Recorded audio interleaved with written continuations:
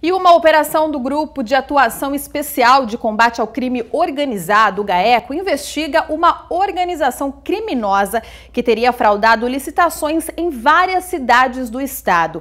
Em Catanduva, o vereador Daniel Palmeira de Lima, do PR, foi preso hoje. Os trabalhos da operação estão centralizados em Campinas, onde está o repórter Felipe Pereira, que conversa ao vivo com a gente agora. Pereira, bom dia com você.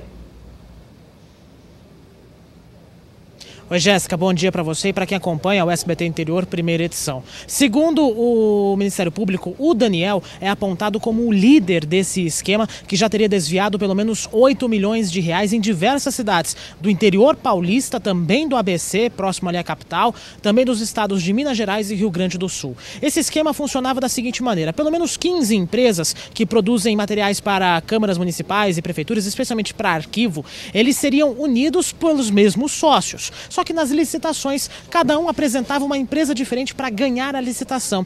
E aí, o dinheiro do lucro da fraude acabava voltando para os próprios empresários. Ou seja, se você tem uma empresa e eu tenho uma, vou fazer a sua empresa ganhar, mas eu também ganho dinheiro em toda essa história. Pelo menos 70 licitações foram fraudadas em todo o estado de São Paulo e também em Minas Gerais e no Rio Grande do Sul por conta dessa, desse esquema, que também envolvia servidores públicos e assessores legislativos. O Daniel é apontado como chefe da quadrilha justamente por ter sido vereador em Catanduva e também, né, por ser vereador em Catanduva, claro, e também ter sido presidente da casa. Então tinha um acesso mais facilitado ali a todo esse esquema. O Daniel foi levado à sede do Ministério Público em São José do Rio Preto, onde à tarde haverá uma entrevista coletiva. A gente tentou contato com a assessoria dele, mas até agora não conseguimos retorno. Mais detalhes na segunda edição do SBT Interior. É contigo, Jéssica.